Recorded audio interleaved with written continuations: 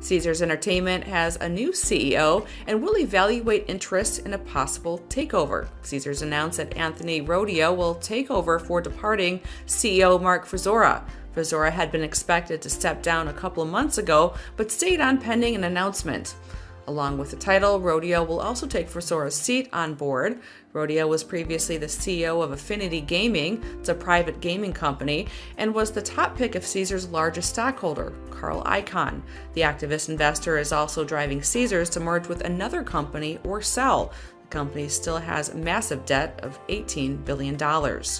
Now, last month, Caesars shared financial data with casino operator Eldorado Resorts, reportedly a step towards a possible acquisition. The owner of the Golden Nugget also approached Caesars on a potential tie up.